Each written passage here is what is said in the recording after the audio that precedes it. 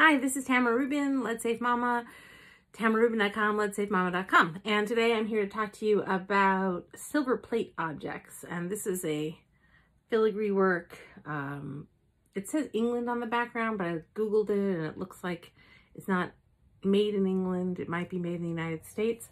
Um, it has a menorah on the back. I don't know if you can see that clearly as the uh, logo right there and then it says England down here. And this is on the blog with the full XRF test results, and I will be washing my hands after I um, handle it.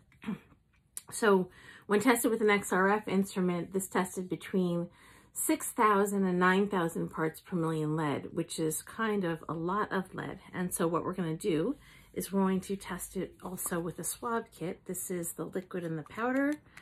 And we're going to go crush, crush and shake. And then that turns yellowy orange on the inside. And we're gonna drop it onto the food surface to see if it turns red. So we dropped a couple drops there and we're gonna rub it to see what happens. Um, it's not meant to be used on metal substrates.